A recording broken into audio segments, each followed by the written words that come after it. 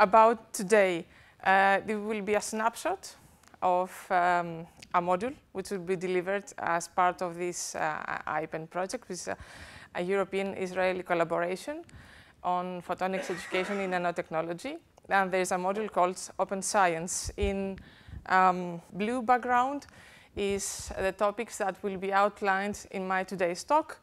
And the full uh, package of the module will be available for you online. It is, under, it is under construction. So what I'm going to talk to you about today is about openness, why it matters, what is open science, and uh, how concretely, what does it mean open access for scientific publications. As uh, on, on, a general level, the module is about the approaches, tools, and common practices in open science. It is also raising awareness about similar terms. I'm, I'm very glad to, to have a question such as, well, op open what? Open what, all right? It's, it's, it's, a, it's an opportunity to discuss about you know, similarities and differences between open notebooks, open data, open research software, and open access, okay? There are overlaps, but not always, right? And as they can directly enrich each step of the open scholarly circle. And it's also an opportunity to situate research outputs, and by research outputs, I mean publications and data, right? In the context of a shared economy and the value of openness. What does it mean on a societal level, beyond the, the immediate circle of the university. I don't know if you are familiar with that, but at that moment, at that very moment, there is a, um, um, a big initiative that is happening. It's a global initiative happening during this week, uh, which is called the Open Access Week. Uh, it's a very famous uh, initiative. It's, um, it's a worldwide initiative.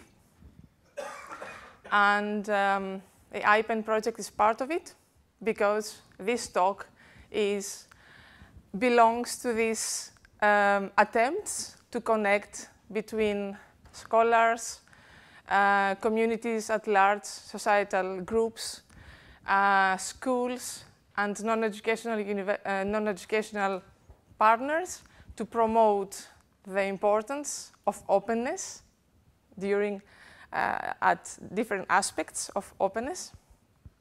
And uh, as you see, there are many different types of events happening. We have workshops, presentations, seminar, discussion, uh, discussions, and also happenings, like uh, on, on, the, on the road. Let me have, give you a snapshot of what is happening about open access. And this is uh, a tweet by QUT, which is Queensland University. This is Australia. SPARC Community is, is, a, is a US uh, initiative. Uh, this, this, is also editors like the Cambridge University Press. This is ANZ, means Australia and New Zealand. This is, uh, again, uh, Lancaster University over there. And uh, I have tweeted about uh, you know, IPEN also. This is also UK, a UK event, and again, Imperial College, and many, many more. Uh, this is just um, a spontaneous uh, snapshot of what's happening and the importance of open access um, all around the world. Now, next to more mainstream events such as workshops, seminars, and so on, there are also more original uh, practices, such as a course delivered through Twitter. And this has, has been delivered by the University of Catalonia, the Open University of Catalonia. This is the uh, UOC, um, upper left. So um, many things happening. But what it is, okay? open access is great, but what is now open science? Let's have um, a look at, um, at a short video. Open access is free, immediate, online availability of research articles with full reuse rights. This is about, first of all, making all this content available for anyone, wherever they are in the world, to read and access and build upon so people can do interesting things and work in new ways with the material to really make the research literature much more valuable. The history of the model is really publishing scientific manuscripts, especially ones with complex, detailed color figures, was expensive. And so if you wanted your article distributed broadly and widely, you, you know, sent it to one of these journals and then, you know, they would manage the review process and the communications with reviewers and revisions and eventually something would be accepted and they handled the typesetting and the printing and the distribution of your scientific work. And and it, you know it worked. It worked great. It science progressed pretty well and it became you know a, a good way to distribute scientific papers. And what's changed is you know really two things in essence. First is digitization. You know you can now do everything electronically instead of printing it.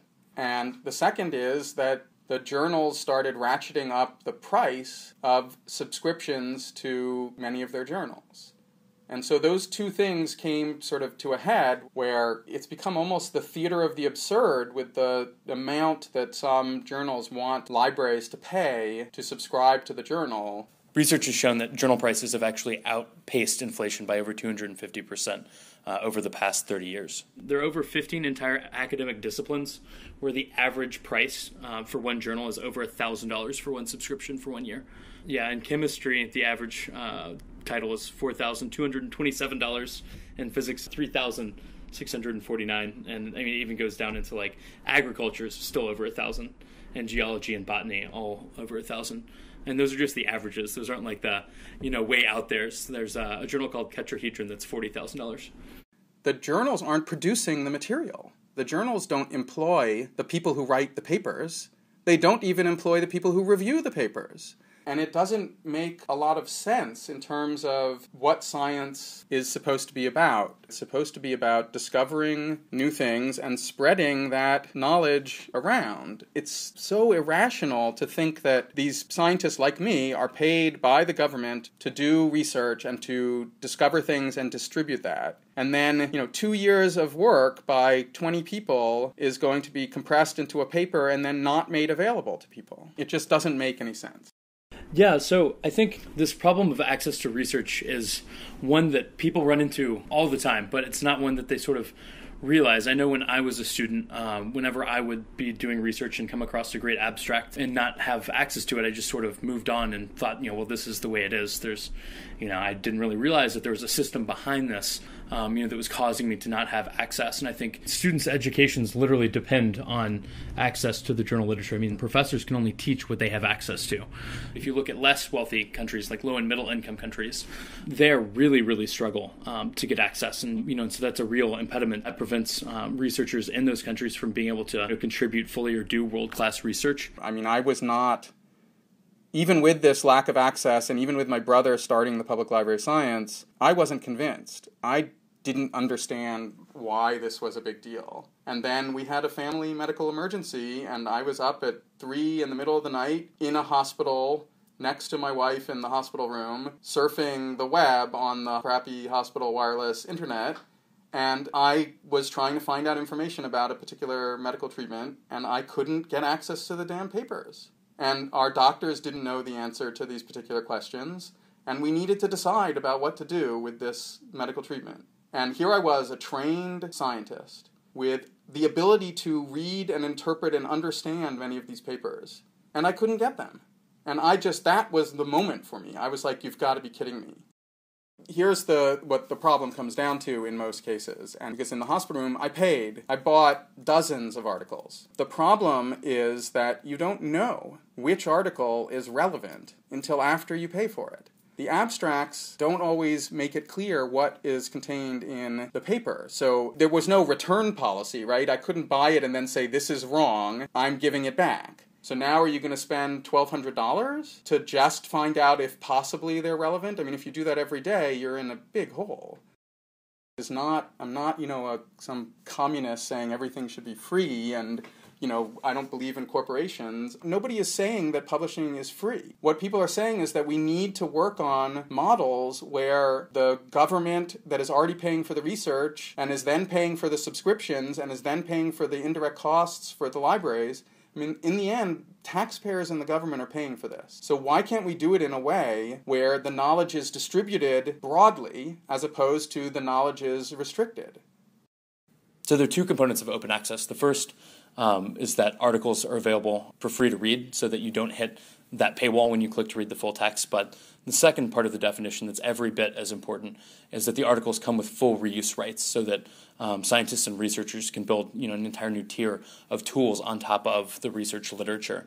And those new tools can interact with these articles, right? They can mine the articles, they can find relationships. Um, you know, they can find snippets of genetic code that are mentioned in multiple papers, or different phrases, or um, you know, concepts that are referenced in a biology paper and a chemistry paper, um, you know, that, that individual researchers would never be able to uncover because they can't read this many articles.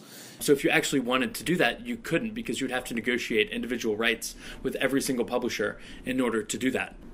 In an open access world, all this information would be open on the internet for free, and people would have unrestricted rights, you know, to do that kind of data mining. I think the main impediment is the incredibly slow movement of scientific cultural practices. I mean, I think, you know, scientists, despite being great explorers in terms of knowledge, are sort of very conservative in terms of changing their practices. Lots of the community says, oh, yeah, I support openness, but I want a nature paper that sort of reliance upon you know impact factor and the name of the journal does allow some journals to not respond to the community pressure towards openness. The scientific publishing model that we have now there's no evidence that it is optimal. We need to experiment with all sorts of different scientific publishing systems. Corporations may figure that out before governments do I'm very open to whoever is going to come up with creative solutions to these issues. I view it much more as scientists and scientific publishers are slow to change. Some of them are going to be left in the dirt because openness is clearly the future, and the creative ones are going to going to survive. It's really important that graduate students, you know, start these conversations with their research teams, their PIs, you know, just let them know that it's something that they care about. And, you know, there's a real benefit to researchers, to graduate students by doing this, right? Because the more people that see your work, the more people can build upon it and they'll cite you. It's not just good for the person that can read your paper, it's also good for you. I believe that scientific knowledge spreads and increases best if there are no restrictions on access to the knowledge that has been generated in other places. I want the discovery of new scientific knowledge to happen faster, and openness helps accelerate that even if for your own reasons you need to publish in a subscription journal, there is this other option that even if you don't publish in an open access journal, that you can still make you know the text of the article itself freely available so that people can at least read it and get access to it. I'm going to give you the European perspective, uh, and a, there are two reasons for that. First, because I live in Europe, and the second is that this project is, is EU funded. Although it, it builds on an Israeli-European dimension, it is funded by the European Union, and somehow I'm, I'm, um, uh, I, am here to promote the European side of seeing uh, open access. Uh, in Europe, it's, it's, a very hot uh, issue in, and uh, very up in the agenda. To understand how, how important open access is, is that in, in very competitive um, funding schemes such as the Horizon 2020 uh, funding scheme, uh, all scientific publications must be open access. So, uh, and you put your money at risk because the Commission can say you haven't put all your scientific publications uh, uh, uh, openly accessible and they, they may retain part of the grant. It's very important. So this is a must now. Some years ago, that was optional. You could still publish your publications from Horizon 2020 as a gold access, paywalled, right? But, but from now on, it is mandatory. And it's a big political change for us because it moves, there's a shift between avoiding